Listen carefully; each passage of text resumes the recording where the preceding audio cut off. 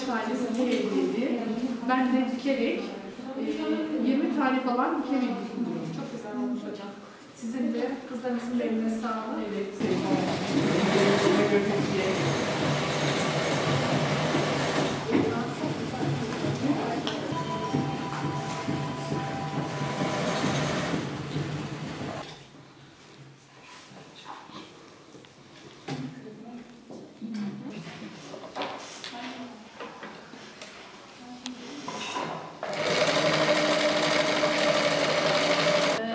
Yaşanılan sıkıntılı süreçte kızlarımızla sosyal etkinliklerimiz azaltıldı. Hatta tümüyle iptal edildi. Dışarıya gitme faaliyetleri e, tümüyle kısıtlandı. Sadece birimlerimizde, yaşam birimlerimizde kalıyorlar. E, Bu anlamda çok sıkıntı yaşadılar kızlarımız. Herhangi bir etkinliğe katılmadıklarından dolayı.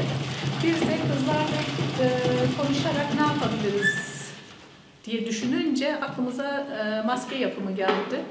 E, halk eğitimdeki hocalarımızla görüştük. Halk eğitimdeki hocalarımız da e, bize destek vereceklerini söylediler. Daha sonrasında kızlarımızla beraber maske yapımına başladık. E, böylelikle hem kuruluşumuzdaki e, maske yapım maske e, alımını kullanımını sağlamaya çalıştık ve de e, geri kalanını da sağlık personeline e, vermeye kararlaştıracağız. Bu sıkıntılı süreç gerçekten hepimizi çok olumsuz etkiledi. Özellikle e, kuruluşta kalan kızlarımızı çok etkiledi. E, dışarı çıkamadıkları için ve e, sosyal izolasyon mevcut olduğu için e, maalesef ki araya e, mesafeler oluyor, mesafe bırakıyoruz. Amacımız onları dışarıdaki hastalıklardan korumak. Dışarıda e, bizler geldiğimiz için kuruluşa muhakkak ki bizlerde e, bir sıkıntı olabilir ama biz gerekli önlemleri kuruluş olarak aldık. E, almaya da devam ediyoruz. E, Kuruluşumuzda personelimizin ateş takibi günde iki kez yapılmakta. E, Hastalarımızın ateş takibi, e, oksijen e, satürasyonları, solunumları, nabızları e, belirli aralıklarla kontrol edilmekte.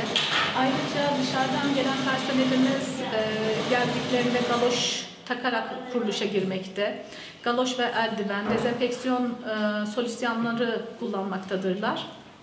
Bu sene koronavirüs hastalığından dolayı dışarı çıkamıyoruz.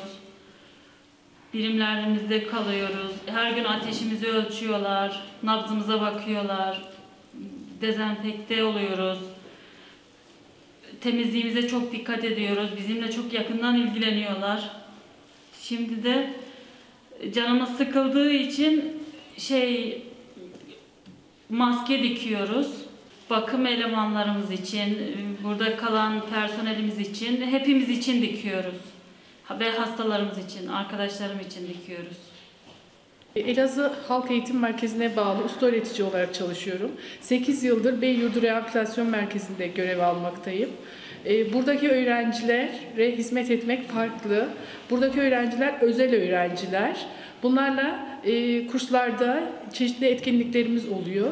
E, Şu anda koronavirüsüyle ilgili de e, maske dikmek istedik. Onlarla birlikte burada maske üretimine başladık. Bittikten sonra hastanede sterilize edilerek burada çalışan personele, sağlık e, personeline yardımcı olacağız. Onlara dağıtılacak. Sabahtan öğlene kadar birkaç arkadaş çalışıyoruz ve günde 100 tane maske çıkarabiliyoruz. Biz sizin için buradayız. Siz de bizim için evde kalın. Elazığ evde kal.